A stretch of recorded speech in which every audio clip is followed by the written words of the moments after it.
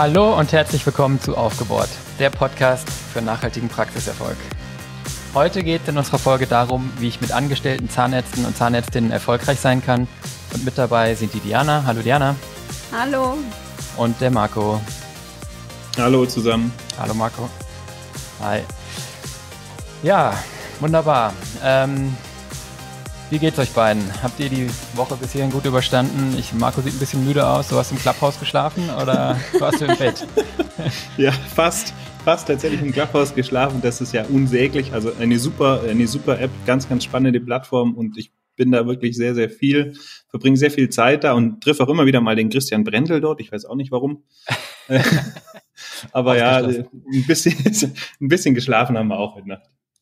Ja. Super. Die Diana war auch, äh, war auch im Clubhouse diese Woche, habe ich gesehen, aber dir geht's auch gut. Ja? Absolut. Ja, das war ein guter Start in die Woche am Montag, doch gleich der Talk. Und ja. äh, deshalb freue ich mich auch ganz besonders auf das heutige Thema. Ähm, ja. Wunderbar. Ja, vielleicht für alle, die sich fragen, von was reden die hier Clubhouse? Vielleicht ganz kurz, äh, es gibt ein neues äh, Social Media Netzwerk. Ähm, da werdet ihr jetzt alle sagen, oh Gott, noch eins, brauchen wir das? Ist eine ganz andere Art der Plattform, ist eine Audio-Only-Plattform, also nur das gesprochene Wort. Ähm, kann man jetzt sagen, gibt's ja schon Podcasts, aber Podcasts sind ja eben sozusagen unidirektional, wir sprechen, ihr hört. Und Clubhouse ähm, ist eine App, über die man Talks abhalten kann. Man hat also so Gesprächsrunden mit einem großen Auditorium äh, in der Mitte oder im Clubhouse eben oben. Auf der Bühne sitzen ein paar Leute, die äh, was erzählen, Impulse geben, aber nicht lange Vorträge, sondern wirklich kurze Beiträge ähm, dann werden Fragestellungen aufgerufen und Themen diskutiert. Und dann können Leute aus dem Auditorium die Hand heben und dazukommen, ähm, Sichtweisen ergänzen, Punkte machen, ähm, Fragen stellen. Und ja, tatsächlich haben wir dieses Format am Montag, äh, den 15. Februar, also je nachdem, wann ihr das hört, vielleicht am vergangenen, also am vorvergangenen Montag, um 20.15 Uhr erstmalig auf Clubhouse ausprobiert. Und wir waren ziemlich äh, beeindruckt von der Resonanz. Wir hatten da in der Spitze über 65 gleichzeitige Teilnehmer, überwiegend Zahnärztinnen und Zahnärzte und in Summe müssen das weit über 75, 80 gewesen sein und hatten eine Wahnsinnsdiskussionsrunde zu dem Thema angestellte Zahnärztinnen und Zahnärzte und ähm, ja, ob man, ob man, ob sozusagen der Weg zum Erfolg äh, mit Angestellten ähm, ja, gegangen werden kann und wenn ja, wie. Und ähm, die Diskussion fanden wir so cool. Wir haben die so ein bisschen im Vorgriff auf diese Folge hier schon mal gestartet ähm, dass wir auch wirklich viele Punkte da mitgenommen haben. Von daher an der Stelle vorab äh, vielen Dank an alle, die im Clubhouse äh, am Montag dabei waren. Ihr werdet hier, falls ihr im Clubhouse dabei wart, aber trotzdem viele neue Punkte kriegen. Wir haben noch Zahlen mitgebracht, Rechnungen. Das heißt, es wird hier, glaube ich, auch für jeden was dabei sein, der im Clubhouse schon im Talk teilgenommen hat. Und für alle anderen, die nicht im Clubhouse dabei waren, ist natürlich jetzt doppelt gut, weil die kriegen jetzt nicht nur unsere Gedanken, sondern auch viele Gedanken, die im Clubhouse am Montag schon geteilt wurden. Wir werden jetzt gucken, dass wir das jeden Montag machen, 20.15 Uhr, aber dazu kommen wir am Ende der Folge nochmal. Gut, jetzt habe ich schon lange genug geredet, vielleicht noch ganz kurz zum Einstieg. Angestellte Zahnärzte und Zahnärztinnen ist das Thema. Der Trend zur Anstellung läuft, das wisst ihr alle. Die Anzahl der Angestellten ähm, ja, wächst kontinuierlich. Und im Prinzip ist ähm, das natürlich auch irgendwo eine Reflexion davon, also von verschiedenen Dingen. Zum einen, dass Zahnarztpraxen insgesamt eine Tendenz dazu haben, größer zu werden im Schnitt. Äh, ganz egal, ob es eine Einzelpraxis BAG oder ein MVZ ist, läuft das ganz oft oder in aller Regel darüber, dass man Zahnärztinnen und Zahnärzte anstellt. Und zum anderen auf der so, sozusagen auf der Angebotsseite ist natürlich auch so, dass viele junge Absolventen äh, eigentlich auch erstmal oder vielleicht sogar auch langfristig angestellt werden wollen. Das heißt, da trifft die Nachfrage auch durchaus auf ein Angebot. Und bei uns in der Beratung kommt dann immer wieder die Frage auf, mh, hm, lohnt sich das und wenn ja, wie und wie viele sozusagen, ja. Und das sind die Themen, äh, die wir heute hier mit euch behandeln möchten. Diana, äh, du vielleicht äh, hast im Clubhouse schon so wunderbar den Aufschlag gemacht. warum besteht dieser Trend und, und was sind Vorteile, die man, die man damit verbindet? Kannst du da mal einfach einen ersten Aufschlag machen? Ja, klar, natürlich, gerne. Also ja, das ist, glaube ich, die Frage, die wir uns ganz am Anfang stellen müssen. Also ähm, warum stellt man überhaupt Zahnärzte an? Also was ist die Motivation dahinter? Ähm, was sind die Gründe? Was sind die Vorteile? Ähm, einige liegen natürlich auf der Hand, aber man muss schon sagen, dass ähm, wir beobachten können, dass die Gründe, die dahinter liegen, sehr unterschiedlich sind. Also ähm, das kann sein, dass man eben einfach eine ähm, Vertretung haben möchte. Das wäre jetzt eben sehr kurzfristig, also äh, Schwangerschaft, Krankheit und ich brauche einfach jemanden, der mich vertritt. Es kann sein, dass ich ähm, einfach mehr Zeit haben möchte. Also vielleicht habe ich so viele Patienten, dass ich einfach noch jemanden brauche, der mich in der Praxis unterstützt. Ähm, ich nehme natürlich durch angestellte Zahnärzte auch irgendwo ein bisschen die Abhängigkeit von mir selbst, aber es gibt eben auch andere, die sagen, ich möchte einfach ähm, wachsen, ich möchte den Wert meiner Praxis steigern, ich möchte gerne eine große Praxisstruktur haben und ähm, die sich natürlich dann auch einen gewissen finanziellen Erfolg davon versprechen. Ganz genau. Und es gibt aber noch einen weiteren Aspekt oder andere Aspekte auch nochmal, die, die für angestellte Zahnärzte sprechen. Ähm, einfach um zu sagen, man möchte sich ein bisschen mehr Freiheiten schaffen in dem Moment als, als Praxisinhaber und nicht mehr jeden Tag äh, acht bis zehn Stunden am Behandlungsstuhl sitzen, sondern auch mal andere Dinge machen. Und auch da eignet sich natürlich das Modell mit angestellten Zahnärzten sehr. Und du, ihr habt es schon angesprochen, gerade aktuell ist es so, auch vielleicht aufgrund der, der demografischen Strukturen der Absolventinnen und Absolventen in der Zahnmedizin, ähm, die, der Frauenanteil ist ja sehr, sehr hoch, äh, ist es einfach auch für die, für die Zahnärztinnen oder für die Zahnärztinnen ein sehr interessantes Modell, gerade im Hinblick auf vielleicht Familienplanung oder erstmal noch so ein bisschen reinschnuppern in den Beruf. Ähm, vielleicht nochmal Festlegung, welchen Schwerpunkt will ich dann vielleicht machen, will ich nochmal eine Weiterbildung dranhängen und noch einen anderen, ähm, eine andere Vertiefung mit dazu nehmen. Und das sind alles Aspekte, die natürlich für diese, für das Modell mit angestellten Zahnärztinnen am Ende spricht. Ja, was ich noch spannend fand in dem Talk am Montag auch, da war so ein ähm, für mich etwas neuer Spirit, dass auch so dieser Teamgedanke so stark ausgeprägt war, ja. Also es haben unheimlich viele äh, Inhaber, die da waren, den Punkt gemacht. Ähm, Diana hat das angeschnitten mit Austausch unter Kollegen Unterstützung bei der Behandlung, aber auch Zweitmeinungen einholen. Das fand ich total einen tollen Gedanken, weil das eigentlich so klassisch denkt man ja dann doch immer in diesen Hierarchien, Chef und Angestellter unten und so. Aber diese Punkte zu sagen, nein, ich habe angestellte Zahnärzte und kann mir bei denen auch eine Meinung holen, kann die auch nochmal fragen, wie siehst du das, wie würdest du das machen? Wir betrachten uns als Team und machen das in alle Richtungen und nicht von oben nach unten in dem Sinne das hat dann ja am Ende auch eine andere Nachhaltigkeit für die Praxis, ne? Wenn du sozusagen diese Behandlungs ähm, äh, Themen und die am Ende dann auch in Form von Spezialisierungen einfach auf mehrere Beine stellst und, und diesen, diesen Austausch und diese Meinung dann einholen kannst, fand ich ganz, ganz toll. Ich würde noch gerne einen weiteren Aspekt einbringen. Ich meine auch, dass wir das am Montag im Rahmen des Clubhouse Talks gehört haben.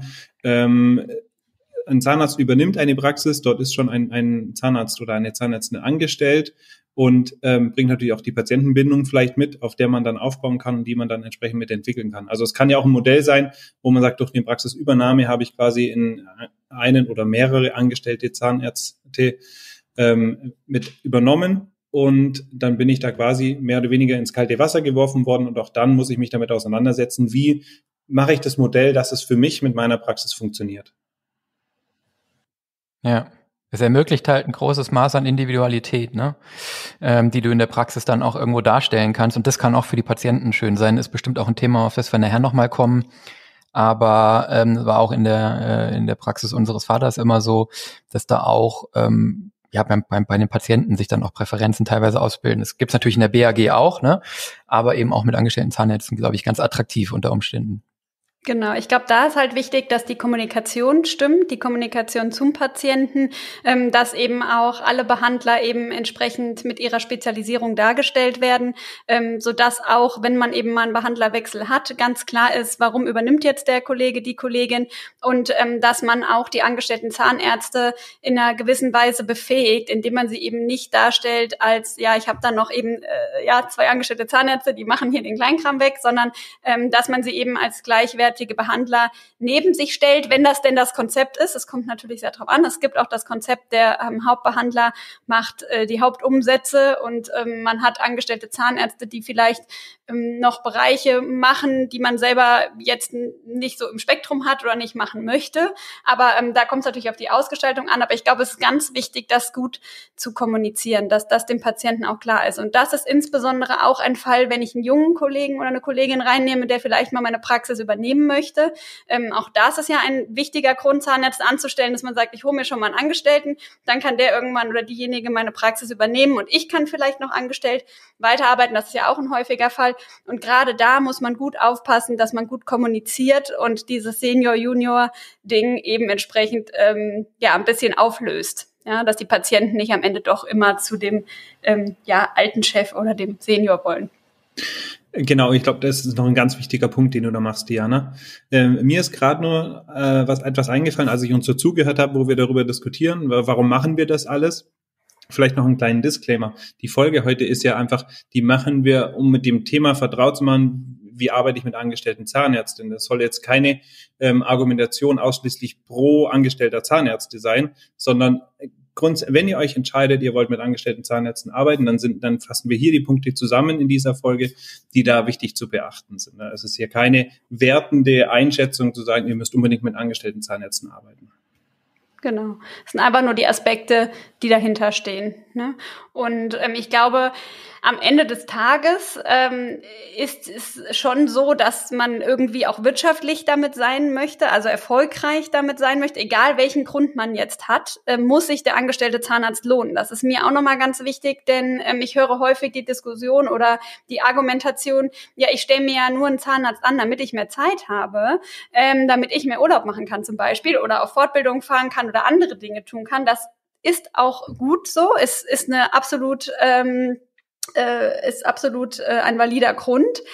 Aber auch dann muss ich dafür sorgen, dass mein angestellter Zahnarzt sich lohnt, denn sonst muss ich am Ende des Tages mehr arbeiten, ähm, um eben auch äh, in der Praxis über die Runden zu kommen. Ja, also egal ähm, welche Motivation ich habe, das ist wichtig. Wir müssen am Ende dafür sorgen, dass sich die Anstellung auch lohnt und dass wir finanziell ähm, erfolgreich damit sind oder dass ich zumindest keine Verluste äh, dadurch habe. Das wäre mal so die Mindestanforderung. Und deshalb ist auch das Thema lohnt sich der angestellte Zahnarzt so ähm, ja komplex und konträr zu diskutieren, weil ähm, ja der eine oder andere sich vielleicht gar nicht nur darauf bezieht, dass es sich monetär lohnen muss, sondern einfach vielleicht auch darin auszahlt, dass er sagen kann, ich habe den Rücken frei, ich habe einen Kollegen, mit dem ich mich austauschen kann, ich habe mehr Zeit, ich habe einen Stellvertreter, wenn ich ausfalle, ich kann nachts besser schlafen, weil ich nicht Angst habe, was ist denn, wenn ich morgen was habe. Ja?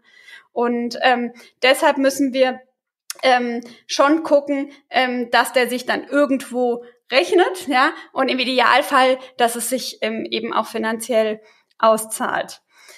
Und äh, vielleicht sollten wir, ähm, wenn ihr keine Punkte mehr dazu habt, in das Thema lohnt sich der angestellte Zahnarzt gehen.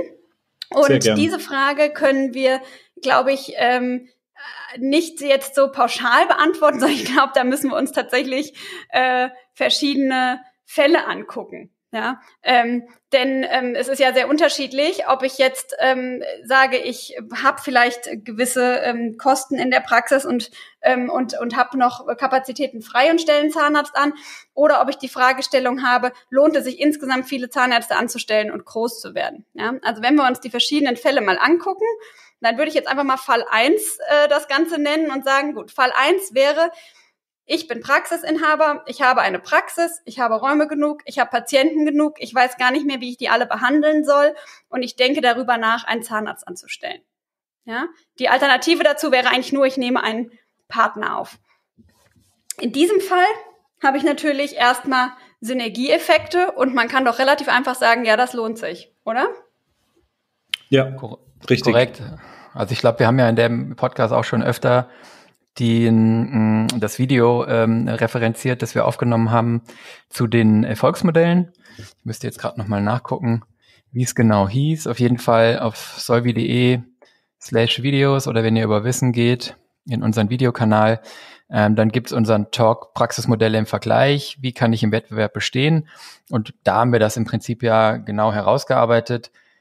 Wenn ich von einer sehr kleinen oder von einer kleinen Praxis komme oder einfach von einer normalen Einzelpraxis komme, dann ist die Hinzunahme von weiteren Behandlern äh, jetzt mal Ceteris Paribus, ja, von allen anderen Motivationen abgesehen, aber auf jeden Fall äh, geeignet dazu, äh, ja, nicht unbedingt Synergieeffekte, aber, aber Skaleneffekte im Prinzip, ne, äh, hast du, glaube ich, gemeint, Skaleneffekte zu erreichen, sprich mit zunehmender Größe wird die Gesamtpraxis etwas effizienter, weil die Räume besser ausgelastet werden, weil das Team besser ausgelastet wird, kann man in dem Video, packen wir auch mal in die Show Notes, nochmal äh, ganz im Detail nachgucken. Und das Ganze hat natürlich nach oben Grenzen, aber eben zwischen der Einzelpraxis und der BAG oder zwischen der Einzelpraxis und der Einzelpraxis mit Angestellten ist das die Entwicklung, die man allgemein, jetzt ganz verallgemeiner tatsächlich beobachten kann. Ja, man muss dann ähm, eben sich überlegen, ähm, wenn ich diese zwei Optionen habe, ich ähm, stelle einen Partner, äh, ich stelle einen angestellten Zahnarzt an oder ich nehme einen Partner auf, dann muss ich mir das wirtschaftlich einfach mal durchrechnen, was macht mehr Sinn und in der Gesamtkonstru im Gesamtkonstrukt meiner Praxis. Viele sagen, ähm, sie wollen nicht unbedingt einen Partner aufnehmen, sie wollen alleine Inhaber bleiben. Ähm, es hat Vor- und Nachteile, äh, das wollen wir an der Stelle vielleicht nicht zu genau diskutieren. Es ist natürlich so, wenn ich einen Partner aufnehme, ähm, dann muss ich mich auch wirklich wirklich lange mit dem gut verstehen, dann ist der fest in meiner Praxis, ja, und äh, wir gehen eben gemeinsam voran, was auch wieder Vorteile hat. Auf der anderen Seite ähm, bin ich mit der Person ein bisschen verheiratet, ja, also wenn wir uns nicht verstehen, dann äh, ja, ist das Verhältnis doch fester, als wenn ich einen angestellten Zahnarzt habe. Den kann ich dann unter Umständen leichter ähm, wieder loswerden. Auf der anderen Seite äh, sind wir dann eben schon genau am Punkt. Ein angestellter Zahnarzt kann die Praxis jederzeit auch wieder verlassen. Den habe ich nicht fest. Ja, das heißt, unter Umständen muss ich dann wieder einen neuen angestellten Zahnarzt suchen. Ja, und das ist eigentlich die Diskussion, die ich führen muss und dann eben wirtschaftlich. Aber wenn wir jetzt mal sagen, wir haben uns entschieden, das ist ja das heutige Thema, wir wollen einen Zahnarzt anstellen in diesem Fall. Also ich habe Räume, ich habe Patienten. Ähm, wenn wir das mal so überschlägig rechnen, ähm, lohnt sich das überhaupt? Ja, und wenn wir jetzt mal davon ausgehen, ähm, dass das Durchschnittsgehalt, ich habe jetzt einfach mal 75.000 Euro angenommen. Ich habe mich da ein bisschen an der Umfrage von der Apobank und dem Freien Verband Deutscher Zahnärzte orientiert, die kürzlich veröffentlicht wurde. Dann haben wir eine Arbeitgeberbelastung von 91.500. Euro. Wenn wir dann davon ausgehen, dass wir eben noch weitere Kosten für den angestellten Zahnarzt haben, also Fortbildung, Veranstaltung, ähnliches, dann kommen wir in etwa auf Kosten von 100.000 Euro für die Anstellung dieses Zahnarztes.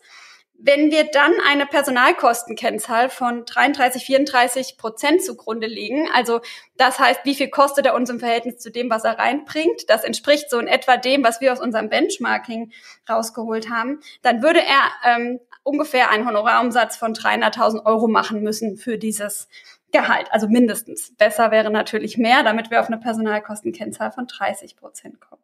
So, wenn wir dann also einen Honorarumsatz von 300.000 Euro haben. Der angestellte Zahnarzt kostet uns 100.000 Euro. Wir haben dann noch eine Assistenz eingestellt, extra für diesen Zahnarzt. Die kostet uns nochmal 39.000 Euro und 7% Material. Das fällt ja eben variabel zusätzlich an mit jedem Euro Umsatz, der in der Praxis gemacht wird. Dann kommen wir ähm, insgesamt ähm, dann nochmal zu 21.000 Euro Kosten, so dass wir am Ende von dem Honorarumsatz 140.000 Euro übrig hätten, ja, der zusätzlich erwirtschaftet wird in dieser Praxis, wenn sonst keine Kosten hinzukommen. Also das ist genau das, was man individuell berechnen muss. Und da sehen wir, dass in einem solchen Fall es sich natürlich auf jeden Fall lohnt, die Praxis auszulasten, die Räume zu nutzen und einen Zahnarzt anzustellen. Wenn ich jetzt aber einen Behandlungsraum dafür ausstatten muss, die Praxis äh, räumlich erweitern muss oder sonstige Kosten noch habe, dann muss ich das eben genau kalkulieren, ob sich das am Ende lohnt oder nicht. Ja, ne, ist alles, alles richtig gesagt, Diana. Alles, so. alles, genau, nee, alles, okay, alles gut, alles richtig gesagt. Ich wollte vielleicht noch einen Aspekt mit einbringen, ähm, weil ich das eben auch aus, aus dem Bekanntenkreis und aus Praxen äh, kenne. Gerade junge Zahnärzte, die sich anstellen lassen, verdienen jetzt nicht ganz auf dem Niveau, das du gerade geschildert hast, bringen aber auch nicht den Umsatz auf dem Niveau, den sie bringen müssen. Also es ist auch immer wenn ich einen Zahnarzt anstelle, gerade junge Zahnärzte, ist es auch vielleicht so ein bisschen Investition in die Zukunft. Ich habe jetzt erstmal in den ersten Jahren vielleicht eine Unterdeckung, äh, ähm, also dass es sich noch nicht ganz äh, finanziell äh, lohnt. Aber mit der Zeit wird der, mit der Zahnarzterfahrung, wird schneller, äh, macht mehr Umsatz. Äh, und dann dreht sich die, genau die Sache um, dass ich dann doch ähm, mit dem angestellten Zahnarzt oder angestellten Zahnärzten dann auch finanziell erfolgreich unterwegs sein kann. Ja, da, da hast du absolut einen guten Punkt, weil du musst natürlich das Ganze dynamisch betrachten und nicht statisch, ne? Also klar. Aber mal, ähm, Dianas Aussage von vorhin, der muss sich oder sie, die muss sich schon lohnen, äh, die gilt, ne? aber natürlich äh, völlig richtig, Marco, nicht in Jahr eins und vielleicht nicht auch nicht in Jahr zwei. Also das hängt dann immer davon ab. Ja? Besser wäre es natürlich, aber ich muss einfach sozusagen da auch irgendwie einen Plan haben und eine Erwartung haben.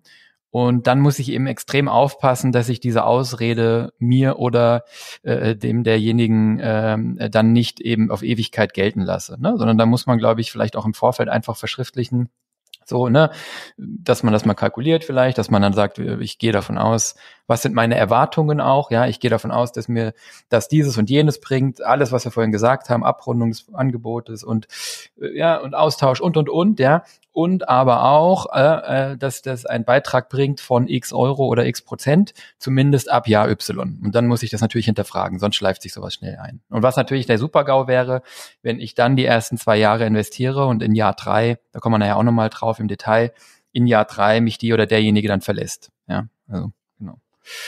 Genau. Aber man muss eben ähm, in dieser Kalkulation ähm, aufpassen, dass man eben nur über den Zusatzumsatz spricht und über die Zusatzkosten, die eben anfallen. Und ähm, das Thema Zusatzumsatz ist vielleicht an der Stelle nochmal wichtig. Ähm, denn ich habe ja gerade eben gesagt, es macht Sinn in dem Fall, dass ich Räume genug habe, aber eben auch Patienten genug. Wenn der angestellte Zahnarzt ähm, eben mich oder mir Umsatz abnimmt. Ne? Also das war jetzt dieses, ich habe zu viel Arbeit und ich möchte das abgeben und ich möchte weniger arbeiten und er übernimmt Umsatz für mich, ähm, dann ist das nicht zwangsläufig mehr Umsatz. Ne? Also dann muss ich den Umsatz, den der Inhaber weniger macht, wieder davon abziehen. Ja, und dann bin ich aber vielleicht auch nicht so streng in dem, lohnt sich das überhaupt, weil ich möchte einfach weniger arbeiten. Ja, und deshalb ist das eben ganz individuell zu betrachten, ob es sich lohnt. Aber im Großen und Ganzen kann man schon sagen, dass man in der Regel zusätzlichen Gewinn dadurch hat, wenn man das richtig macht. Ja. Richtig machen muss man es vor allen Dingen aber dann, wenn man eine größere Struktur plant. Also wenn man jetzt nicht, wie in dem eben geschilderten Fall, überlegt, stelle ich einen Zahnarzt an, sondern ich möchte mehrere Zahnärzte anstellen, ich möchte eine Großpraxis haben, vielleicht auch Standorte haben und eben äh, mehrere Zahnärzte anstellen, dann muss ich schon genauer hingucken, ob sich das Ganze lohnt. Ähm, und das nicht nur ähm, natürlich im Vorfeld durch eine Planrechnung, sondern eben auch im Nachgang ähm, durch eine sogenannte Profit Center Rechnung immer wieder die einzelnen Praxisbereiche analysieren. Und da ist eben ein Profit Center dann die angestellten Zahnärzte. Und ich kann in der Vollkostenrechnung dann gucken, ob sich das überhaupt insgesamt trägt. Ja, das heißt also hier verteile ich nicht nur die direkt zuordnenbaren Kosten, sondern alle Kosten auf die entsprechenden Profit Center. Denn ähm, irgendwann, wenn ich größer werde, muss ich eben investieren. Ich muss Behandlungszimmer dazu nehmen und ich muss nur größer werden, weil ich viele Zahnärzte anstellen möchte. Und ähm, das muss ich dann berücksichtigen. Und da ähm, wenn wir da die Frage stellen, lohnt sich das Ganze denn, ähm, dann müssen wir schon sagen, äh, kommt darauf an. Ja, also da muss ich es wirklich richtig machen. Wir sehen in unserer Profit Center Rechnung ähm, in der Regel so Rentabilitäten von diesem Profit Center zwischen 10 und 15, manchmal 20 Prozent. Das heißt, ja, ähm, da bleibt was übrig nach Vollkostenrechnung, aber nicht so furchtbar viel.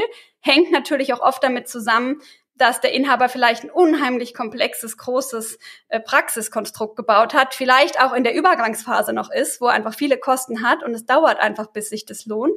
Es hängt auch damit zusammen, dass wenn ich zehn angestellte Zahnärzte habe, potenziell vielleicht einer schwanger ist, äh, einer gerade gekommen ist, einer kurz davor ist, die Praxis zu verlassen und zwei einfach nicht gut sind und nicht ins Konstrukt passen. Ja, das heißt, ich habe einfach ähm, ja, vielleicht nicht zehn angestellte Zahnärzte, die gleich gut funktionieren. Ja? Und ähm, aber wenn wir uns dann angucken, wie ist der Gewinn am Ende, dann bleiben in der Regel schon ähm, so pro angestelltem Zahnarzt zwischen 30.000, 50.000. Das kann auch mehr sein, wenn ich richtig gute habe, ähm, pro angestelltem Zahnarzt übrig. Wir haben aber auch Praxen, die haben sehr viele angestellte Zahnärzte und haben am Ende dann eben trotzdem insgesamt vielleicht nur 40, 50, 60.000 mehr. Und da muss man sich dann kann man sagen, gut, diesen Mehrgewinn habe ich, aber man muss dann wieder ähm, den Aufwand, den man betreibt, in Relation setzen. Ja, ganz wichtiger Punkt. Also es ist ja nicht so, dass ein, ein angestellter Zahnarzt oder ein, eine angestellte Zahnärztin ohne Mehraufwand für den Praxisinhaber daherkommt, sondern da hängt immer noch auch ein administrativer Aufwand, ein, ein vielleicht auch ein Aufwand bezüglich Supervision oder auch ähm, Betreuung mit dahinter, ähm, den man auf jeden Fall berücksichtigen muss. Genau, das heißt, ich kann quasi, wenn ich sage, ich habe eh schon 40 Stunden am Stuhl, dann habe ich nochmal fünf angestellte ähm, Zahnärzte, ähm, dann werden daraus ganz schnell relativ anstrengende Wochen. Ja, ganz wichtig, was du sagst, denn ähm, das ist ein großes Thema, gerade wegen diesem Limit, ähm, das es gibt, dass man eben nur eine bestimmte Anzahl an angestellten Zahnärzten haben darf, wenn man nicht in einem MVZ äh, tätig ist, ja. Ähm, da kommt ja immer wieder die Diskussion, wie viele angestellte Zahnärzte sollte ich eigentlich haben? Und es ist natürlich wesentlich einfacher, wenn ich einen Inhaber habe, der zwei oder drei Angestellte ähm, zum Erfolg führen muss und gucken muss, dass die gut laufen, dass sie eine gute Qualität abliefern und eben die Supervision für die drei machen muss, sondern wenn ich plötzlich ein Verhältnis habe von einem Inhaber zu 10, 15, 20 angestellten Zahnärzten, dann brauche ich ganz andere Konzepte dahinter. Und ähm, dann wird es natürlich ein bisschen enger. Ne? Da sind wir eigentlich auch schon fast beim Fall drei, Christian, oder? genau, also der, der Fall mit so vielen angestellten Zahnärzten ist ja im Prinzip nur möglich im, im MVZ. Ja? Ähm, und, und hier ist das ähm, eigentlich ganz spannend, weil ähm, die zwei Fälle, die wir bisher besprochen haben, waren ja sozusagen Betrachtungen, ähm, wo, wo, wo Dianas Rechnungen eben auch additiv waren. Ja, also ich habe eine Praxis mit einer gegebenen Situation und jetzt füge ich vielleicht, wenn das Patientenaufkommen da ist oder ich selber kürzer treten will, angestellte Zahnärzte hinzu. In so einem MVZ-Fall kann man eigentlich mal ganz gut die Zahlen in so in der Reihenform betrachten. Ja, also so, ich sag mal ganz synthetisch. Ja, das heißt, ich habe hab mir eigentlich mal äh, Gedanken gemacht im Vorfeld, jetzt rein als Gedankenmodell. Ja, so eine Praxis wird es dann am Ende faktisch natürlich nicht geben, aber nur mal als ganz äh, theoretisches Gedankenmodell wie, wie kann das denn in einer MVZ GmbH zum Beispiel aussehen? Und ja, wie sieht es aus, wenn ich ein großes Konstrukt habe mit letztendlich nur Angestellten natürlich, im MVZ GmbH sind alle angestellt, ja, aber gemeint ist sozusagen mit nicht führenden äh, ähm, angestellten Zahnärzten, die letztendlich da sind, um Leistung zu erbringen, rein da sind, um Leistung zu erbringen. Und dann ist natürlich so, das beobachten wir auch äh, tatsächlich ähm, in, in Real Life sozusagen, dass, ähm, dass man da dann schon sehr genau rechnen muss. Ja, also das heißt, hier mit jedem Fall, den wir besprechen, wird der Bleistift etwas spitzer, mit dem ich rechnen muss. Das wäre jetzt, glaube ich, Thomas äh, seine Redewendung gewesen an der Stelle. Und ich erkläre euch jetzt mal ganz kurz, warum wir das so sehen. Nämlich, wenn wir sagen, du hast im Prinzip in der Praxis, die jetzt kein MVZ ist, im Schnitt erstmal eine Rentabilität von 35 bis 45 Prozent, sowas. Roundabout, ja, das sind ja so die Größenordnungen, die man so sieht. Ja, also jetzt inhabergeführte zum Beispiel Einzelpraxis, ja. Ähm, nur Behandlung jetzt mal in Reihenform, ja, das wäre so eine Rentabilität, die man da sehen würde. Und was ist jetzt in dem Gedankenmodell, wo ich daraus ein MVZ mache und nur angestellte Zahnärzte habe. Wir machen uns jetzt frei von dem Gedanken, dass ich zusätzliche Zimmer brauche und, und das Patientenaufkommen da sein muss, sondern nur mathematisch sozusagen, finanziell, was passiert. Wenn ich jetzt angestellte Zahnärztinnen oder Zahnärzte äh, äh, dort reinsetze, nehmen wir mal an, ich könnte den Inhaber rausnehmen und einfach einen angestellten Zahnarzt und der Inhaber legt die Füße hoch und macht nichts mehr. Ist praktisch nicht möglich, aber wie gesagt, Gedankenmodell. Dann ist es ja so, dass der angestellte Zahnarzt, die angestellte Zahnärztin ähm, nach unserer Empfehlung eine Personalkostenkennzahl von äh, nicht höher als 30 haben sollte. Ja, das heißt, Verhältnis Arbeitgeberbelastung zu Umsatz, den derjenige äh, bringt, sollte nicht höher als 30 Prozent sein. In der Realität ist es halt dann doch oft so, dass es ein bisschen drüber liegt. Ja, das heißt, wir beobachten dann nicht selten Werte von 30, 35 Prozent. Die Gründe haben wir ähm, im Podcast vor zwei, drei, vier Folgen diskutiert. Da wird Arbeitgeberbelastung und Bruttogehalt verwechselt. Da ist erbrachte Leistung nicht gleich geflossener Umsatz. Ja, also in der Realität sind es dann oft 35 Prozent von dem, was wirklich ähm, bei mir ähm, ankommt an Umsatz. Ja, und wenn ich dann mir das angucke, dass ich 35 bis 45 Prozent Rentabilität habe, wo ja noch kein Inhaber, also wo noch kein Lohn drin war für den Zahnarzt, ja, und ich jetzt einen angestellten Zahnarzt da habe, anstatt einen Inhaber, dann ist, dann sieht man ja schon direkt, dass da nur noch fünf bis zehn Prozent Marge eigentlich übrig bleiben. Ja, weil der Inhaber hat ja keinen Lohn, aber in dem Moment, wo ich einen angestellten Zahnarzt dafür nehme, der einen ganz normalen Lohn kriegt, bleiben da eigentlich nur noch fünf bis zehn Prozent Marge übrig von den 35 bis 45. So. Wenn jetzt aber die angestellte Zahnärzt, äh, Zahnärztin oder Zahnarzt nicht 35 kriegt, sondern wegen schlechter Vertragsgestaltung 40. Ja, also was wir auch schon mehrfach besprochen haben, ich vergüte die Leistung monatlich und der oder diejenige hat ein paar sehr gute Monate, kriegt da immer schön dann die 35 Prozent zum Beispiel, die ja schon zu hoch sind. Und dann ist er oder sie ein paar Monate krank, kriegt aber natürlich trotzdem weiterhin das Basisgehalt. Er bringt aber gar keine Leistung. Ja, also dann komme ich wegen langer Krankheit oder wegen Schwangerschaft oder oder oder vielleicht nicht mehr auf 35, sondern auf 40 Prozent und dann sehen wir schon, ist schon keine Marge mehr übrig. Wenn ich jetzt noch berücksichtige, dass ein angestellter Zahnarzt oder Zahnärztin vielleicht auch nicht die gleichen Stundenumsätze bringt wie ein Inhaber oder ganz sicher nicht, ja, in aller Regel nicht, muss man ja sagen, dann kann man jetzt sagen, gut, das ist egal, weil er oder sie wird ja basierend auf dem Gehalt vergütet, das stimmt, aber alle anderen Kosten in der Praxis, die Fixkosten, die bleiben ja stehen. Ja?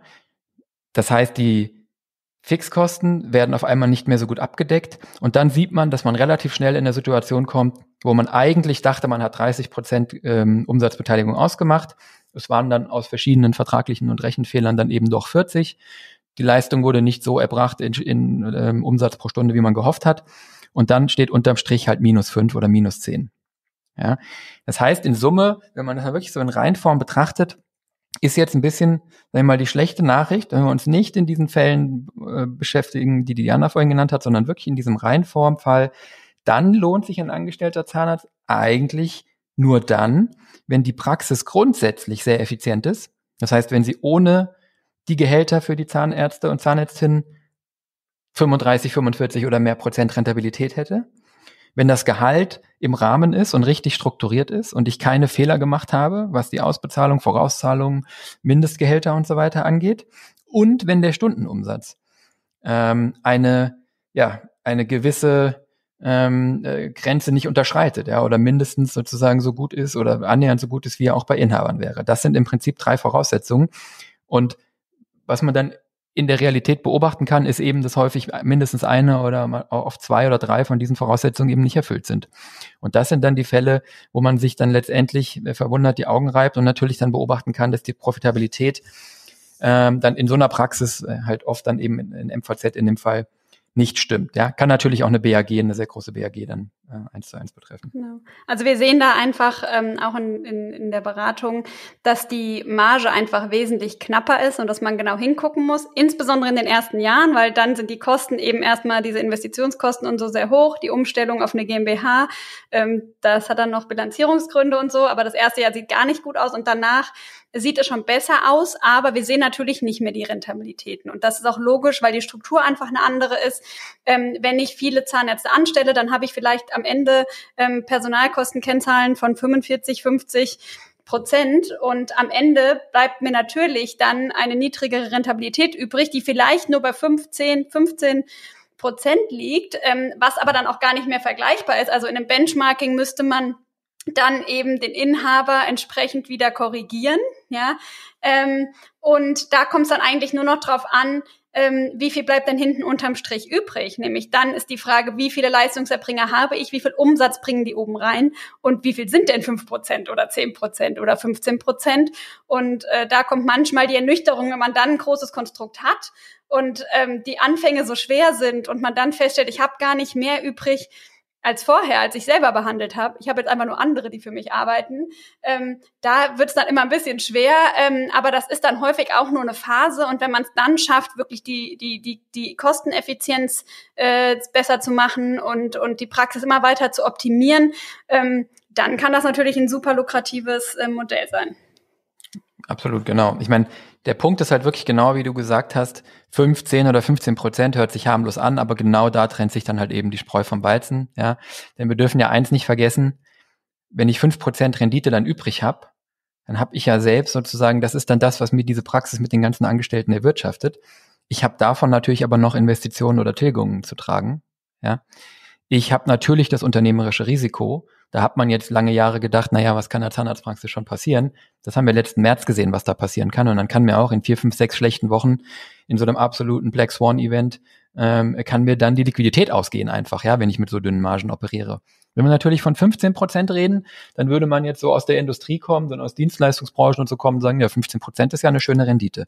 Aber da sieht man eben, ist weniger Puffer als man das so gewohnt ist, wenn man eine inhabergeführte Praxis hat und einfach sagt, ja, 40 Prozent Rentabilität so, dann haut mich so schnell nichts um. Und je größer das Rad natürlich wird, desto riskanter ist natürlich dann der kleine Puffer. Ja, und vielleicht ähm, als letzten Gedanken, alles, was Diana eben gesagt hat, ist eben dann genau wichtig, um es trotzdem zum Erfolg zu bringen. Und die Incentivierung der angestellten Zahnärzte, dass eben der Stundenumsatz hoch bleibt, ist vielleicht auch nochmal ein wichtiger Gedanke. Das heißt, es muss nicht immer nur darum gehen, wie viel kriegst du von deinem Umsatz an, in Euro ab, sondern auch, den Gedanken hatten wir schon mal in einer vorherigen Folge, wenn du bestimmte Umsatzgrenzen überschreitest, gibt's nochmal einen extra Goodie, gibt's nochmal was obendrauf. Aus genau dem Grund, weil sich's dann lohnt. Und im, im Gegenzug, wenn du runterfällst unter gewisse Stundenumsätze oder Umsatzsummen, dann ähm, trägt die Praxis natürlich trotzdem die ganzen Fixkosten und dann wird's unprofitabler. Und ähm, deswegen wollte ich diesen Gedanken der Staffelgehälter vielleicht äh, als eine Möglichkeit äh, der Incentivierung, den wir schon mal besprochen hatten, hier nochmal aufführen. Warum, also das ist sozusagen die Herleitung, warum das eine gute Idee sein kann. Ja. Absolut richtig, Christian. Ich finde nur immer bei dieser Diskussion ganz wichtig, ähm, dass dann natürlich auch der angestellte Zahnarzt, die angestellte Zahnärztin in die Lage versetzt werden muss, die Patientenzahl respektive den Umsatz zu steuern. Das muss, das ist natürlich Grundvoraussetzung dafür, dass du das Gehalt an den Umsatz koppelst. Da geht es ja nicht nur darum, um quasi ähm, Effizienz, also wie viel Umsatz pro Stunde mache ich, sondern auch wie viele Patienten habe ich zur Verfügung, um meinen Umsatz zu machen. Also das hängt natürlich da bei dieser Diskussion umsatzabhängiger, äh, umsatzabhängige Vergütung ähm, mit Patientenzahlen hängt da absolut zusammen. Ja klar, also absolut äh, völlig korrekt. Äh, am Ende, da müssen wir auch nochmal eine Folge drüber machen. Ziele, äh, da gibt's ja diese, diese Formel SMART, ja, also Ziele sollten immer smart sein und das ist ja ein Akronym, steht für spezifisch, messbar, ähm, dann attainable im Englischen, ja, also erreichbar, relevant und äh, mit einem mit einem time-based, also mit einem mit einem Zeitbezug sein. Und genau dieses attainable ist genau der Punkt. Ne? Also äh, da jetzt Umsatzziele hinzuschreiben, für die ich selber, die ich selber nicht beeinflussen kann, wäre natürlich katastrophal. Das killt Motivation. Ja. Aber ähm, genau über diese Themen machen sich natürlich große Strukturen auch viele Gedanken. Also wenn ich viele Zahnärzte anstelle, dann brauche ich dafür ein System. Dann muss ich mir genau überlegen, wie will ich die vergüten, ähm, was, ne, was sind die Ziele, wie können die das erreichen. Das sind alles Dinge, über die ich mir am Ende des Tages Gedanken machen muss. Und ähm, da sehen wir eben auch die, die steigende Komplexität mit der Größe. Und dazu würde ich gerne auch nochmal eine Folge machen. Also ich würde unbedingt auch gerne nochmal eine Folge zur MVZ GmbH machen. Ähm, aber da sind wir jetzt, glaube ich, auch schon ähm, so ein bisschen im nächsten Themenblock, nämlich den Herausforderungen, die mit der Anstellung von Zahnärzten eben kommen. Und ähm, da gibt es jede Menge. Ähm, wir haben ja vorhin schon gesagt, okay, finanziell lohnt es sich. Es gibt auch viele Gründe, das zu tun. Ähm, aber man sieht schon, gerade bei Praxen, die viele Zahnärzte anstellen, äh, steigt die Komplexität und es kommen einfach immer neue Herausforderungen ähm, dazu. Und ich glaube, so die größte Herausforderung ist eigentlich personeller Art. Also ähm, wenn ich eben viele Zahnärzte anstelle, ich habe es gerade eben schon kurz gesagt, dann habe ich einfach auch ein größeres Risiko, dass die vielleicht wieder gehen. Also ich habe einen größeren ähm, Wechsel, je mehr ich habe. Das heißt, es kann sein, ähm, eben durch Schwangerschaft, Krankheit ähm, oder dass sie nicht in die Praxis passen oder dass ich eben äh, sich, die sich niederlassen. Also dass ich viele Gründe habe, ähm, die dazu führen, dass die Mitarbeiter auch wieder gehen. Und ich glaube, das ist ein großes Thema für die Inhaber, warum sie teilweise auch Angst haben, ähm, Zahnärzte anzustellen, weil sie Angst haben, dass sie auch wieder gehen. Absolut. Ähm, ich meine, so, so Themen wie wie Krankheit, das kann man vielleicht noch einpreisen, ähm, Schwangerschaft, na, vielleicht auch noch, ähm, aber dann wird's auch schon schwierig. Äh, dann äh, bin ich völlig bei dir. Es gibt gerade die guten Zahnärzte, sagt man oder hört man ja auch immer wieder, gerade die guten Zahnärzte lassen sich dann doch irgendwann noch nieder. Die Frage ist nur, wann. Und wenn ich dann als Praxis investiere in einen angestellten Zahnarzt und den aufbaue und weiterentwickle und der sich dann niederlässt, dann habe ich am Ende nichts davon, habe ich investiert, aber habe keinen Return aus der, aus der, aus dem Mitarbeiter, der dann mhm. letztendlich gegangen ist. Und es ist die logische Schlussfolgerung. Denn ähm, wenn ich gute angestellte Zahnärzte habe, dann sind es in der Regel die, die auch unternehmerisch denken. Ja? Und die wollen sich äh, zumindest in einem großen Anteil dann auch, zu einem großen Anteil dann auch niederlassen. Ja. Und äh, das ist etwas, wovor viele äh, zu Recht äh, tatsächlich auch ähm, Angst haben. Und da muss ich mir natürlich überlegen, wie kann ich ähm, die richtigen finden und auch wie kann ich sie dann an meine Praxis binden. Ja, und ich, ich glaube, ich glaube, das ähm, ist wirklich ganz wichtig, weil äh, das geht zurück auf den Punkt vorhin vom, vom Marco. Wo wir schon mal gesagt haben, ich darf finanziell die Betrachtung mit dem angestellten Zahnarzt, der Zahnärztin nicht statisch machen, sondern ich muss das sozusagen im Zeitablauf betrachten. Und dasselbe gilt hier. Wir haben bisher immer jetzt die ganze Zeit gerade eben über Zahlen gesprochen und die sind halt doch immer irgendwie eine Momentbetrachtung. Aber nehmen wir mal an, ich finde ein finanzielles Modell, wo sich das lohnt und ich habe Spaß und all meine ähm, Wünsche und Erwartungen an den angestellten Zahnarzt, die Zahnärztin haben sich erfüllt das ist auch zu kurz gesprungen. Ja, das heißt, ich muss mir eigentlich schon im ersten Schritt überlegen, wie dieser, wie diese Journey äh, im Englischen, also wie diese, äh, diese Reise sozusagen oder dieser Prozess ähm, aussieht. Ja, das heißt, letztendlich werde ich ja nie einen Zustand erreichen, wo ich jemanden anstelle oder fast nie und der einfach Tag ein, Tag aus die Klappe hält, seinen Job macht und mir einen positiven Deckungsbeitrag erwirtschaftet. Das gibt es in ganz seltenen Fällen, wenn jemand sozusagen keine Ambitionen mehr hat, wobei ich dann in Frage stellen würde, ob derjenige wirklich einen positiven Deckungsbeitrag leisten kann, wenn er keine Ambitionen mehr hat. Aber in aller Regel fangen die ja jung an, haben eine Entwicklung, haben einen Wunsch nach Fortbildung, vielleicht auch einen Wunsch nach Spezialisierung, haben finanzielle Motive, wollen vielleicht mehr mitreden, wollen mehr sagen können, ja, und darauf muss ich vorbereitet sein. Das muss ich vorne, von vornherein wissen. Diese ganze Thematik sollte ich mir wahrscheinlich nicht antun, wenn ich nur diesen Zustand erreichen will, wo ich weniger machen muss und das Geld irgendwie unten rausfällt, ja. Und am Ende bedeutet das auf Dianas Punkt, wie gehe ich damit um, wenn jemand Niederlassungswunsch hat, wenn jemand mehr will und weiterkommen will? Ja, vielleicht müssen wir drüber reden, ob ich so eine Art Karrieremodell brauche. Das ist natürlich jetzt schmerzhaft, wenn die Praxis klein ist. In Zahnarztpraxen sind wir es gewohnt, dass wir eigentlich einen, ich sag mal, Entschuldigung, Indianer, einen, einen also, Entschuldigung, einen Häuptling, ja, oder einen weiblichen Häuptling, müsste man jetzt auch sagen, habe. Und dann äh, sozusagen, so blöd das klingt, darunter habe ich dann das Team, ja, und die Karrieremöglichkeiten beschränken sich doch dann entweder auf die Verwaltungslaufbahn oder auf die ähm, Prophylaxe-Laufbahn. Und äh, das ist eingespielt und da habe ich jetzt im Prinzip erstmal keine Sorgen. Aber an der Stelle muss ich mich damit beschäftigen, mh, hm, da ist jetzt jemand, der will auf meine Stufe vielleicht auch irgendwann kommen. Und dann habe ich eigentlich zwei Möglichkeiten. Ich kann da einen Weg planen und kann dem oder derjenigen sagen, guck mal, das ist ein Prozess, wie du in deiner Karriere hier dahin kommen kannst, wo du vielleicht hin willst. Oder ich lasse es. Wenn derjenige den Wunsch hat, ist dann aber völlig klar, dass das passiert, was wir gerade gesagt haben. Dann wird, ist es eine Frage der Zeit, bis der oder diejenige geht. So, ich kann es dann vielleicht ein Stück weit ein paar Jahre rauszögern durch Entwicklung, nur durch Spezialisierung, durch Training. Nur eins ist klar, ich rüste denjenigen dann ja auch am Ende nur weiter auf für den Ausstieg. Und mit jeder Spezialisierung und Training und allem, was ich tue, versorge ich denjenigen dann mit dem, mit dem, mit dem Handwerkszeug, um das dann irgendwann durchzuziehen. Oder ich kann es lösen mit Geld. Nur dann sind wir wieder in der Thematik von eben. Ähm, so viel Puffer ist da nicht mehr. Ja, wir würden sogar ja eigentlich eher sagen, in unserer Beobachtung sind die Gehälter von Angestellten eigentlich fast zu hoch im Moment, können wir gleich nochmal separat diskutieren. Und deswegen bleibt am Ende eigentlich, muss man sich wirklich damit beschäftigen, wie kann so ein Karrieremodell aussehen. Ja, und dann hast du natürlich, was wir eben schon angesprochen haben, die Möglichkeit zu sagen, na gut, der Angestellte, die Angestellte oder mehrere können für mich ein Nachfolger werden. Ja, kann man vielleicht auch gucken, wenn man mehrere hat, wer sich da durchsetzt, wer das Zeug hat, wer den Drive hat. Ich kann den schon kennenlernen. Ist ja eine perfekte Möglichkeit, eine BAG draus zu machen, mit Probephase sozusagen oder am Ende auch den Ausstieg zu machen. Das kann ein Modell sein.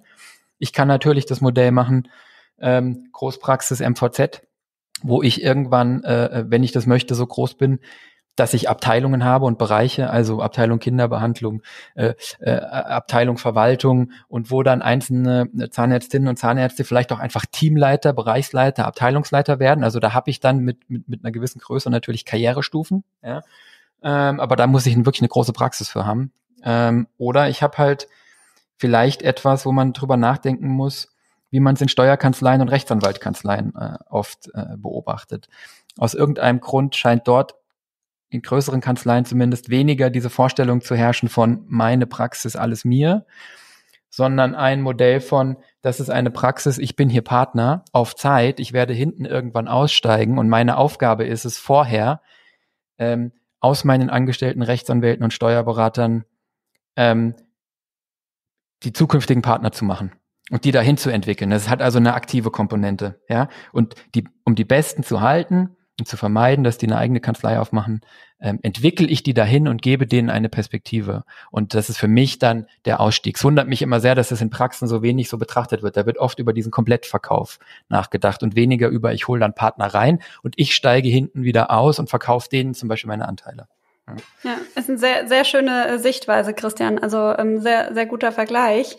Und ähm, ich glaube, das ist tatsächlich das Thema. Ich glaube, jeder Praxisinhaber muss sich einfach damit beschäftigen, wo er langfristig hin will. Also man muss einen Plan haben, wo die Reise hingehen soll. Also möchte ich später, also möchte ich ganz spät aufhören und die Praxis in einem verkaufen? Möchte ich die Praxis stückweise verkaufen? Das hat natürlich noch steuerliche Aspekte. Ähm, möchte ich eine MVZ GmbH gründen und die an einen Investor verkaufen? Dann muss ich aber wissen, ich kann sie nicht mehr an einen jungen Existenzgründer verkaufen, weil der eben äh, dann wieder Nachteile dadurch hat.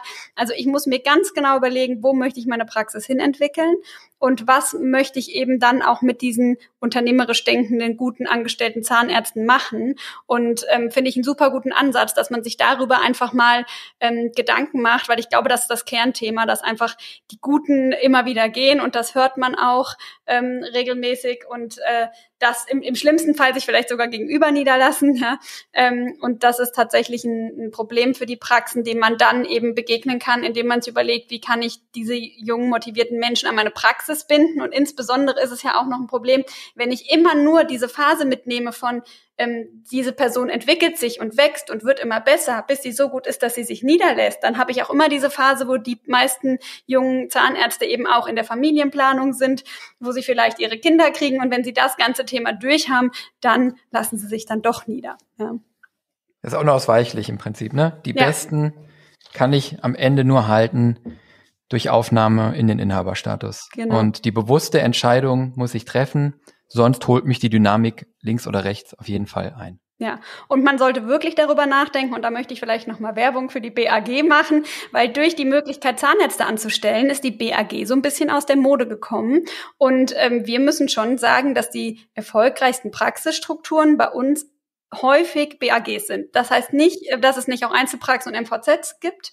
Ähm, also ich kenne Inhaber, die 600.000, 700.000 Gewinn haben, die sind Einzelpraxis. Ich kenne welche, die sind in der BAG und ich kenne welche, die sind im MVZ oder MVZ GmbH. Also der Erfolgsweg kann sehr unterschiedlich sein, aber man sollte ähm, trotzdem auch immer mal wieder über diese Option ähm, nachdenken. Absolut.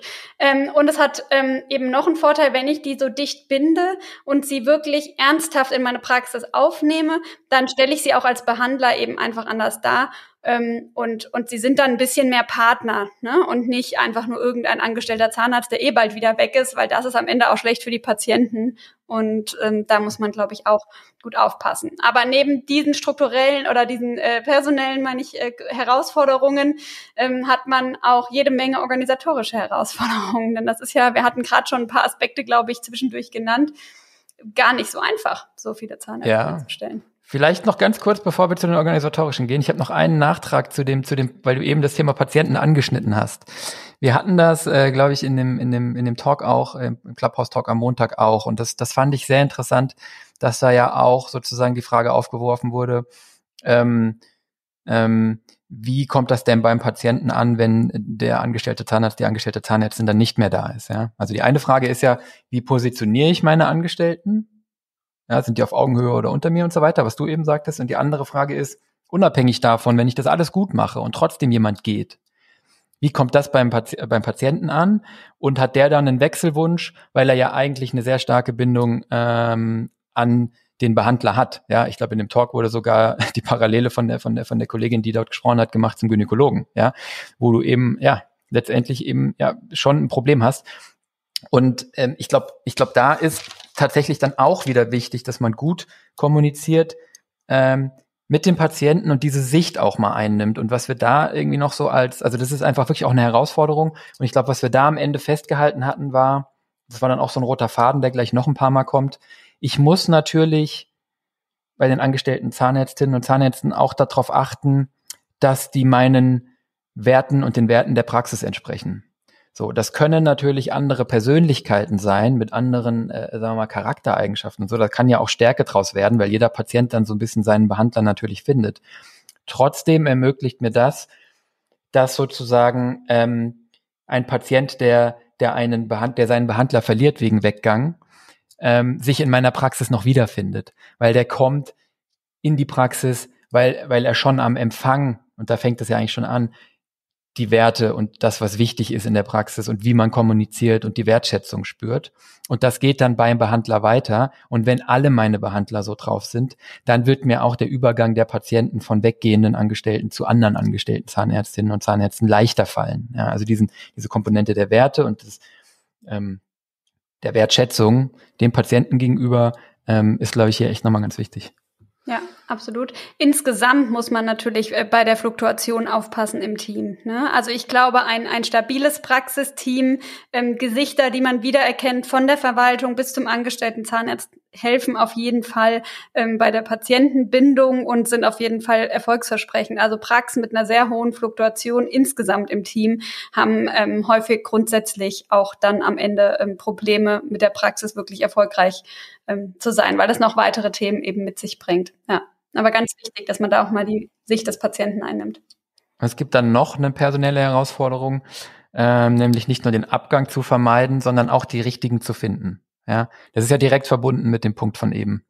Also das war ja eigentlich, glaube ich, auch äh, am Montag Tenor, dass das vielleicht sogar fast die größte Herausforderung ist. Ja, ist, auch, ist auch, glaube ich, meines Erachtens so. Und es kommt auch nur mit der Zeit. Du kannst äh, in, in allerwenigsten Fällen weißt du durch den Bewerbungsprozess, ob das jetzt das, der Perfect Fit ist oder nicht. Das genau. Und, und, der, und der Tenor war so ein bisschen, und das fand ich sehr gut, zu sagen, gut, guck, du musst schauen, dass du den perfekten findest. Wenn du dich nicht nur an strukturierter, oder nicht den perfekten gibt's nicht, oder, ne, aber für dich passend findest, und wenn du dich nicht nur am strukturierten Bewerbungsprozess und Noten und Referenzen festhältst, sondern zusätzlich Menschenkenntnis, Menschenbild, Werte. Ähm, eine Kollegin hat am Montag in dem Talk gesagt, sie geht dann gerne spazieren. Fand ich eine ganz wunderbare Idee. Geht mit dem Bewerber raus, spazieren. Man geht aus dieser Frontalsituation Interview und, und macht den Spaziergang und lernt dann den Menschen kennen. Wenn man diese Dinge mit abklopft und dann natürlich muss ich es dann trotzdem irgendwann ausprobieren. Das war der Punkt von Marcel Nielsen am Montag, der ja auch bei uns hier schon zu Gast war, der dann gesagt hat, ich muss das alles machen, ich muss die Chance erhöhen, dass ich den richtigen finde und wir wissen, Interviews sind dafür nicht gut geeignet. Ich muss den Menschen kennenlernen. Und dann muss ich aber trotzdem irgendwann springen und mir auch bewusst sein, dass das Risiko überschaubar ist im allerschlimmsten Notfall, das ist nicht schön, das wollen wir alle nicht, aber da muss man ein bisschen die Angst vor verlieren. Im allerschlimmsten Notfall gibt es natürlich eine Probezeit, ja. Und wenn das sich dann herausstellt, muss ich eben auch dann den Mut haben, es in den, in den ersten Monaten zu beenden. Das ist im Zweifel für mich und die betroffene Person besser, als wenn wir das Leiden verlängern. Ja. Ich glaube, ein guter Rat ist eigentlich vielleicht einfach, es ist mir gerade gekommen, damit so umzugehen, als würde man einen Partner aufnehmen in der Praxis. Weil wenn man einen Partner aufnimmt, dann sieht man das als sehr langfristig, weil man irgendwie diesen Partner in der Praxis heiratet und einen großen Vertrag macht und so weiter und so fort. Und da nehmen sich viele die Zeit, vorher essen zu gehen. Gut, das geht jetzt aktuell nicht, aber ähm, sich zu treffen, sich kennenzulernen, eben auch im Privaten. Und das kann man jetzt vielleicht in der großen Praxis mit vielen angestellten Zahnärzten so nicht machen. Aber gerade da, wo man sagt, ich suche jetzt eins, zwei äh, gute Spezialisten oder gute Zahnärzte, die auch bei mir bleiben und verstehe deren Motivation und wo sie hinwollen auch, ne, ob sie irgendwann eben niedergelassen sein wollen oder nicht, wo sie im Leben stehen. Ähm, da ist man, glaube ich, gut beraten, wenn man einfach so tut, als wäre es die Aufnahme eines Partners. Jetzt, jetzt darfst du in die organisatorischen Herausforderungen gehen, außer der Marco wollte noch einen Punkt machen. Nein, nein, ich, ich wollte jetzt auch gerne in die organisatorischen Herausforderungen gehen. Ähm, wir haben ja auch schon im, im Verlauf jetzt der, der Punkte zuvor durchaus schon klar gemacht, dass die, die Komplexität und auch die Anforderungen an den Praxisinhaber, also an, ich nenne es jetzt mal betriebswirtschaftlich, an das Management der Praxis, äh, wirklich steigen. Und ne, mit jedem Mitarbeiter, der dazukommt, äh, steigt es an. Und wenn es dann auch noch eben vielleicht sogar angestellte Zahnärzte sind, die einfach nochmal ein anderes Gehaltsniveau haben, eine andere Führung erfordern, als vielleicht die, die ähm, zahnärztlichen Assistenten mitbringen, da wird es sehr, sehr schnell komplex und man muss sich über Themen Gedanken machen, die vorher nicht so die Rolle gespielt haben. Ne? Wie zum Beispiel, wir hatten es auch schon, wie vergüte ich den, wie entwickle ich die Mitarbeiter? Ähm, und ähm, ich hatte es vorhin auch schon mal angesprochen, wie, wie kriege ich denn die Mitarbeiter in die Lage versetzt, dass sie auch in, in, einen Hebel haben, an dem Umsatz zu drehen. Also zum Beispiel Stichwort Terminmanagement in dem Moment. Alle Mitarbeiter oder vor allem die Zahnärzte müssen natürlich dann entsprechend ausgelastet sein.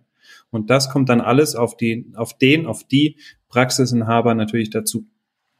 Hm. Absolut. Der Christian würde jetzt normal an der Stelle sagen, wenn es um das Thema Wachstum geht, die Komplexität genau. steigt Copyright. im Quadrat. ähm, und genauso äh, ist es ja. Also ähm, es, wir sehen einfach, dass viele Inhaber, die eben durch angestellte Zahnärzte wachsen, irgendwann so ein Überforderungsgefühl haben. Und insbesondere, wenn man zu schnell wächst, wenn man nicht, nicht unbedingt nachhaltig wächst, sondern relativ schnell die Praxis vergrößert, Zahnärzte anstellt und einfach ne, eine MVZ GmbH gründet und, und, und und alles zu schnell macht ähm, und die Strukturen nicht mitgewachsen sind, ja, ähm, dann kann das wirklich zur Überforderung im Management führen und auch ähm, als Führungsperson. Und ähm, das ist eben ganz wichtig, dass man eben sowohl das Management mitzieht, die Strukturen mitzieht, als auch eben äh, die Führung entsprechend ausbaut. Und ähm, nur so kann das am Ende auch gelingen und man kann diesen organisatorischen Herausforderungen begegnen. Ähm, man kann auch ganz viel äh, eben durch Tools und Software-Systeme abbilden, so dass es einem eben erleichtert wird. Aber man muss sich Gedanken darüber machen, wie möchte ich das Ganze organisatorisch aufstellen in meiner Praxis. Und ähm, nur so kann ich eben auch dieser steigenden Arbeitsbelastung entgegenstehen. Weil viele sagen, ja, ich möchte nicht mehr so viel behandeln, deshalb stelle ich mir Zahnärzte an. Und dann merken sie irgendwann, okay, sie haben eigentlich nur Behandlungszeit gegen Verwaltungs- oder Managementzeit getauscht ähm, und haben vielleicht am Ende sogar mehr äh, Managementzeit, die sie aufbringen, als sie vorher behandelt haben. Und das muss man sich eben genau überlegen, wie viel möchte ich noch behandeln, wie viel möchte ich ähm, in das Management geben und ähm, um, um denen eben ein bisschen äh, entgegenzustehen. Ja, und, und das ist eben eine organisatorische und auch strukturelle Herausforderung. Ne? Wie stelle ich das Team auf? Ähm, wie funktioniert ja, das Ganze hier? Ich meine, aus der steigenden Komplexität ergibt sich natürlich äh, dann auch direkt eigentlich, dass auf die Kosten steigen. Ja. Ähm, das ist jetzt wieder letztendlich ähm, äh, gut zu sehen in dem Video, das wir hier in den Show Notes verlinken mit den Praxismodellen im Vergleich. Da haben wir das ja hergeleitet, dass in sehr großen Praxen eben genau dieser Komplexitätsanstieg dazu führt, dass Kosten steigen, da ja, schleichen sich hier und dort Ineffizienzen ein, da sind auch gewisse äh, zusätzliche Ausgaben einfach durch die Größe bedingt. Und ähm, das sind dann sogenannte Diseconomies of Scale, also das äh, sogenannte negative Skaleneffekte, wenn ich, wenn ich so will, ja. Und das steigt dann mit zunehmender Größe überproportional und dann, das ist halt wirklich hier die finanziell strukturelle Herausforderung, dann laufe ich wieder in das Problem von oben, nämlich, dass ich eh schon nicht so viel Marge vielleicht habe mit Angestellten und das muss ich halt um jeden Preis vermeiden, dass ich dann noch ineffizient in der in der Struktur und in der Organisation bin. Ja, das ist das, was du dann bei sehr großen Praxen eben wieder beobachtest. Das heißt, die Frage stellt sich, äh, wie groß sollte die Praxis eigentlich wirklich sein? Ja, wie viel angestellte Zahnärztinnen, Zahnärzte habe ich optimalerweise? Wie viel will ich haben? Ja, äh, das muss alles managebar sein. Das sind Fragen, mit denen muss ich mich im Vorfeld beschäftigen und damit muss ich mich wirklich wohlfühlen. Es ist kein irgendwie Selbstzweck und ich sollte mich dann nicht beeinflussen lassen von dem, was andere tun. Ja, spannende Diskussion, muss ich sagen. also ich glaube, wir haben wirklich äh, viele Aspekte jetzt äh, schon genannt. Ja, ähm, jetzt müssen wir natürlich irgendwie noch mal die Kurve kriegen, weil wir haben natürlich angefangen mit den Vorteilen und warum man das eigentlich tut, haben dann darüber gesprochen, dass sich Zahnärzt, die Anstellung von Zahnärzten grundsätzlich lohnt und sind jetzt am Schluss so ein bisschen bei den Herausforderungen äh, hängen geblieben. Das soll natürlich nicht entmutigen und und auch ähm, nicht äh, dazu führen, dass man äh, eher Angst davor hat, einen Zahnarzt anzustellen. Ich glaube, es gehört zum Unternehmertum dazu, dass man eben da einfach eine bewusste Entscheidung trifft, sich das Ganze durchrechnet, individuell im eigenen Fall guckt, macht das Sinn oder macht das keinen Sinn. Angst davor muss man auf jeden Fall ähm, nicht haben. Ähm, da hatte der ähm, Steuerberater Marcel Nielsen, glaube ich, auch einen guten Punkt am Montag gemacht, indem er gesagt hat, eigentlich, was kann denn passieren? Im schlimmsten Fall habe ich zwei, drei Gehälter gezahlt. Ja, wenn ich dann feststelle, das geht alles nicht. Es muss natürlich immer ähm, auch fair im Vorfeld in der Kommunikation sein mit der Person, die ich anstellen möchte, gerade wenn es ein Versuch ist und man sagt, ich weiß gar nicht, ob das wirklich aufgeht, aber lass es uns doch einfach gemeinsam probieren.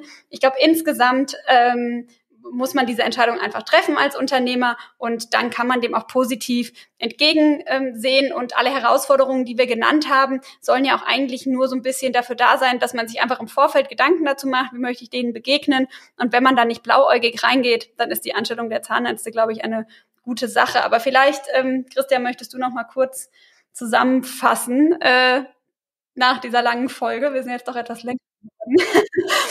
Was sollten wir jetzt alle mitnehmen? Für alle, die jetzt beim Teller waschen oder beim Joggen irgendwie äh, abgedriftet sind, ähm, vielleicht nochmal hier die, die Key Takeaways, ähm, was die Diana gesagt hat. Meistens aus einer wirtschaftlichen Betrachtung kann man es so gestalten, dass es sich betriebswirtschaftlich lohnt, Zahnärzte und Zahnärztinnen anzustellen. Aber jeder gute Jurist, Steuerberater und Berater sagt, es kommt natürlich drauf an. das heißt, ich muss im Vorfeld die Ziele und Erwartungen klar festhalten und ich muss meine Hausaufgaben machen. Auch im Zeitablauf muss ich einfach wissen, wo ich hin will und das immer wieder hinterfragen. Klar ist, es ist ein großes Angebot an angestellten Zahnärzten da, an angestellten Zahnärztinnen. Der Trend geht dorthin, ja. Klar ist aber auch, es ist eine sehr große Nachfrage auch auf der anderen Seite. Und das sehen wir daran, dass Gehälter in unserer Wahrnehmung doch eher am oberen Ende aktuell sind von dem, was aus Inhabersicht wünschenswert ist, aus den vorhin dargestellten Gründen, weil man immer die Rentabilität der Gesamtpraxis im Blick halten muss. Das heißt, das Angebot ist hoch, die Nachfrage nach angestellten Zahnärztinnen und Zahnärzten offenbar noch größer, denn am Ende ist das Gehalt ja der Preis, äh, der sich irgendwie aus Angebot und Nachfrage auch irgendwo bildet. Im Prinzip bedeutet das, wenn man so drüber nachdenkt, dass das Problem, ähm, dass es viel Bedarf nach Anstellung gibt und etwas wenig Bedarf nach Niederlassung und Neugründung und Übernahme auch ein Stück weit selbst gemacht ist kann man natürlich jetzt nichts draus machen so. Also individuell möchte jeder Zahnärzte und Zahnärztin anstellen. Kollektiv würden wir behaupten, sorgt die Zahnärzteschaft schon fast ein bisschen dafür, dass es eben auch sehr attraktiv ist. Und dann muss man sich an irgendeinem Punkt vielleicht auch nicht wundern, dass die Nachfolger für die Inhaber so ein bisschen ausbleiben. Ähm, wenn ich es tue, muss ich auf jeden Fall das Ding dann sehr gut managen. Das heißt, ich muss eng und gut beobachten, messen, ähm, besprechen, motivieren, äh, vielleicht auch antreiben und incentivieren. Ich muss einfach auf diesen Dingen ein Auge haben. Ein Autopilot laufen lassen wird in den wird mit angestellten Zahnnetzen, mit vielen angestellten Zahnnetzen und Zahnärztinnen dann nicht mehr funktionieren. Und ich muss wissen, ob ich das überhaupt will. Ja, also passt das zu mir? Will ich das wirklich? Das geht auf den Punkt von vorhin ich darf mich nicht nur fragen, möchte ich mehr Geld verdienen, indem ich äh, beim Nichtstun, indem andere für mich arbeiten, sondern ich muss mich auch fragen, möchte ich diese Investments dafür leisten? Bin ich der Typ, der Charakter, der das machen will? Im Ergebnis habe ich dann weniger Puffer im System für Rückschläge. Es ist also sehr eng, wie besprochen. Und ähm, es ist eben eine dynamische Betrachtung und ich muss bereit sein, diesen Weg dann auch zu Ende zu gehen. Der Aufwand für Abstimmung äh, steigt. Ja, ich muss die Bereitschaft dafür haben, auch in die Kommunikation zu gehen wenn das Team groß wird, muss ich eben auch auf Augenhöhe äh, unter Umständen gehen können und diese Kämpfe führen und diese Abstimmung. Ähm, aber das werden mir eben meine angestellten Zahnärztinnen und Zahnärzte auch danken. Ja. Den oder die richtige zu finden, hatten wir eben nochmal festgehalten, ist oft die schwierigste Aufgabe. Vorsicht, hier nur strukturierte Interviews und Noten schwierig. Unbedingt auf Werte, Einstellungen und den Menschen dahinter achten und versuchen, den oder diejenige kennenzulernen. Spaziergang, Abendessen, was auch immer. Vielleicht muss man hier einfach den Pfad verlassen, den man aus dem Einstellungsprozess von ZFAs und, und, und ZMVs und so gewohnt ist. Ja. Ähm, am Ende werde ich höchstwahrscheinlich weniger Stuhlzeit haben. Ob ich auch weniger Arbeitszeit habe oder nicht, vielleicht mehr. Das ist im Vorfeld schwer festzustellen. Ich muss auf jeden Fall darauf vorbereitet sein. Auch das war am Montag, glaube ich, ziemlich tenor im Clubhouse. Man sollte daher unbedingt auch in diese Aufgabe hineinwachsen, sich trauen, um vielleicht ein positives äh, Fazit hier zu kriegen, wenn man das machen möchte und sich das gut überlegt hat, sich trauen, den Schritt machen. Es kann attraktiv sein, es kann Spaß machen. Ich muss aber mich da reinfühlen und daran wachsen und jeder Mensch wächst an seinen Aufgaben. Und von daher würden wir plädieren, das eben einfach, wenn man es machen möchte, anzugehen, aber vielleicht nicht gleich im ganz großen Stil, sondern eben peu à peu. Und Patienten werden den Wechsel von Personal verzeihen, wenn wir den gering halten und wenn wir die Werte der Praxis transportieren und man sich wertgeschätzt fühlt, dann kann das hinhauen. In Summe ist das halt eine Kombination aus, das war auch noch ein Schlagwort aus dem Clubhouse-Talk von fordern und fördern, dass ich eben dort eingehen muss mit meinen Angestellten und mit meinem ganzen Team. Und dann wird ein Schuh draus. So, wenn wir euch jetzt nicht verschreckt haben, sondern ihr sagt, ich finde es immer noch spannend, ähm, dann beschäftigt euch in Ruhe mit der Thematik. Ich glaube, das wäre unser größter Wunsch. Wenn das Thema ansteht, oder ihr äh, bereits angestellte Zahnärzte habt, schaut euch das an. Vielleicht ist da auch nochmal was dabei, wenn schon sozusagen äh, die Entscheidung getroffen ist oder es schon Fakten gibt. Wir helfen euch natürlich gerne bei Betrachtungen zur Wirtschaftlichkeit, Business Case, bei dieser dynamischen Betrachtung. Wenn ihr Fragen zur Vergütung habt und, und, und, zu allem, was wir heute hier gesprochen haben, könnt ihr uns gerne fragen. Schickt einfach eine E-Mail an fragen@aufgebaut-podcast.de. Und ansonsten würde ich sagen, sehen wir uns im Clubhouse und hören uns natürlich auf dem Kanal wieder. Wir äh, machen nächsten Montag 20.15 Uhr, immer Montag 20.15 Uhr jetzt äh, einen Talk zu diesen betriebswirtschaftlichen Themen, wo wir so ein bisschen die Diskussion der letzten Podcast-Folge aufsammeln wollen und ähm, auch schon so ein bisschen ja einfach Meinungen und Feedback von euch aufsaugen. Mit auf der Bühne sind nicht nur wir, sondern da sind auch immer äh, Zahnärzte, Kollegen von euch dabei und andere Teilnehmer und dadurch ist das nochmal eine deutliche Bereicherung zu dem Format hier, glaube ich. Freuen wir uns, wenn ihr dabei seid. Und euch gerne auch einbringt. Genau, super. Das, guter Punkt, Diana, ist nämlich genau der Unterschied zum Podcast. Ne? Das bei Clubhouse, da sind wir wirklich auch sehr froh und, und äh, wenn, wenn wirklich auch die Zuhörer dann irgendwann auch zu den Rednern dazukommen und dann auch wirklich ihre eigene Meinung dazu äh, geben und sich dann wirklich auch eine, eine sehr anregende Diskussion ergibt. Das war jetzt schon letzten Montag spannend und wird sicherlich auch in den nächsten Talks sehr spannend. Ja, vielen Dank euch beiden ähm, für diese spannende und sehr gehaltvolle Folge. Ähm, wir freuen uns natürlich, wenn euch Zuhörern unser Podcast gefällt. Ähm, wenn das der Fall ist, dann freuen wir uns natürlich über jedes Like, über jedes Abo in einem Podcast-Player. Ähm, und sorgt auch gerne dafür, dass eure Kollegen und Freunde von unserem Podcast erfahren. Christian hat es gesagt, wir werden uns auf Clubhouse auf jeden Fall wieder treffen und wieder sprechen. Und äh, wir kommen auch bald wieder mit der nächsten Folge zu aufgebaut. Bis dahin wünsche ich euch einen schönen Abend. Äh, Diana und Christian, vielen Dank und bis zum nächsten Mal.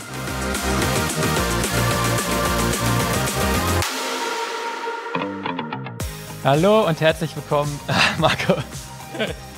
Okay, jetzt mache ich nochmal. Also jetzt Ruhe. Letztes Mal war ja so Dingelingeling oder vorletztes Mal Dingeling und dann und das kommt ja nicht, oder? Ist jetzt die richtige Zeit für Pippi? Starten wir danach? Wir hören dir einfach zu. Genau, und irgendwann wird irgendjemand anders was sagen, vielleicht.